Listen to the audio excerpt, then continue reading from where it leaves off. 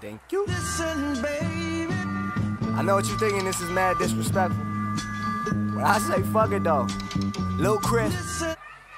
Ah! Take a back to the first grade. Middle class bow pants. I want solid execution out there. Hey, what does ALT mean?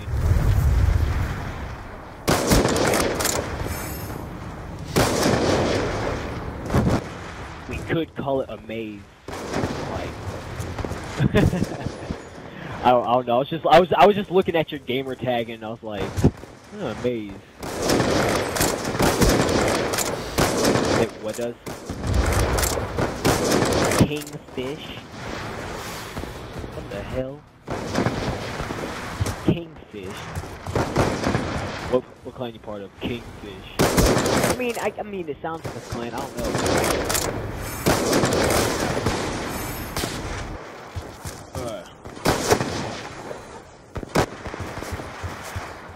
We need something exotic. Something very exotic. Hey, there's our. No, no. th- oh yeah, we could instead of L7 K7.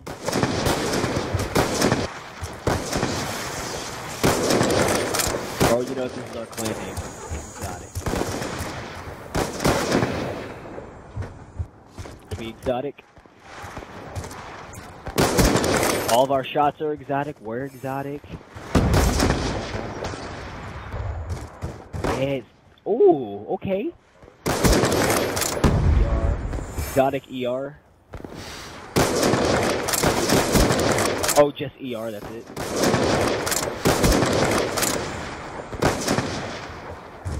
Oh shit. Dude, that sounds freaking awesome. I like that exotic. Okay, I- I'm down with that. Alright, guys, so what you guys just listened to was the founding of Exotic Revolution.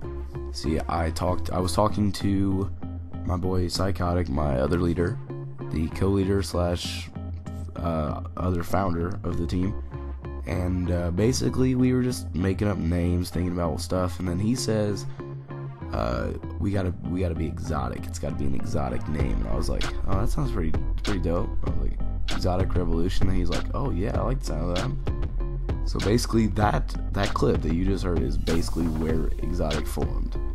So five years from now, when we're 80,000 subscribers strong and everything better, that's this this this video right here will be proof of when it started.